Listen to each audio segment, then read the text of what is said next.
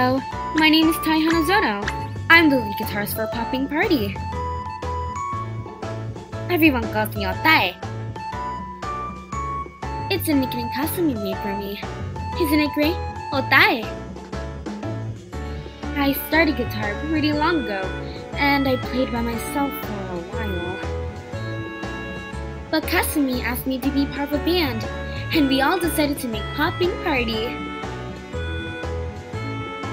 Forming as a band is pretty hard. If we're not all listening to each other, the songs don't turn out very well. Also, our shielded cables tend to get tangled. You know, the cords? To wrap the cables, you should go underhand, then overhand. The over-under method. I'm pretty good at it. Being a part of Popping Party is really fun.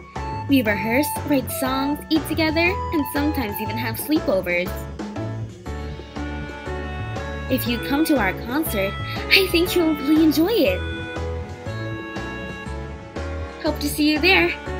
Popping Party is looking forward to all of your cheering and support.